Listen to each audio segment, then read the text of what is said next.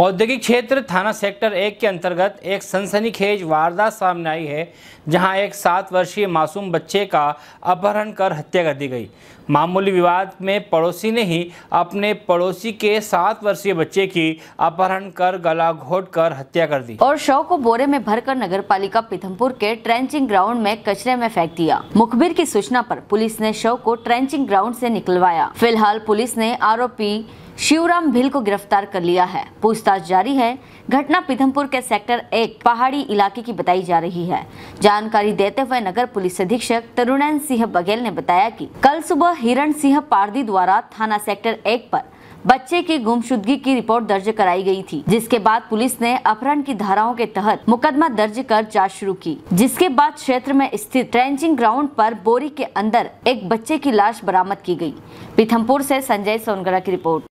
बच्चे के मर्डर का मामला था, क्या था आपका मामला और किसे क्या ट्रीट किया गया? कल सुबह हिरन सिंह पारदी ने थाना में, सेक्टर वन में आके बताया कि उसका पाँच छः साल का लड़का गायब है। इस सूचना पर तत्काल तीन सौ तिरसठ भारतीय दंड विधान का प्रकरण सेक्टर वन में कायम किया गया। वरिष्ठ अधिकारियों को बताया गया जिला पुलिस अधीक्षक मनोज कुमार सिंह ने इसको गंभीरता से लेते हुए स्वयं मौके मुआयने का निरीक्षण किया और स्पष्ट निर्देश दिए कि किस बिंदु पर कार्रवाई की जाए।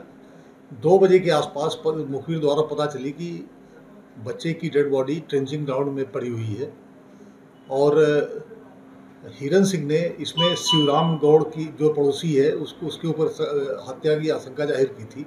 शिवराम फरार था।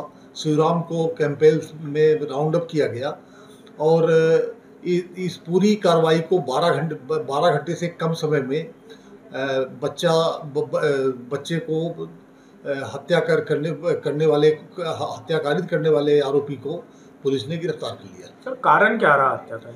ये दोनों पन्नी बिनने का काम करते थे और आस-पास रहते थे।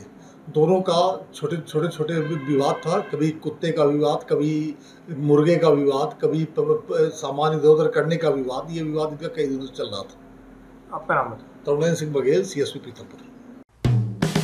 Hello friends आप देख रहे हैं हमारा channel S W twenty four news हमारे सारे वीडियो सबसे पहले देखने के लिए आप हमारे चैनल को सब्सक्राइब करें और पास में लगे बेल आइकन को दबाना बिल्कुल भी ना भूलें।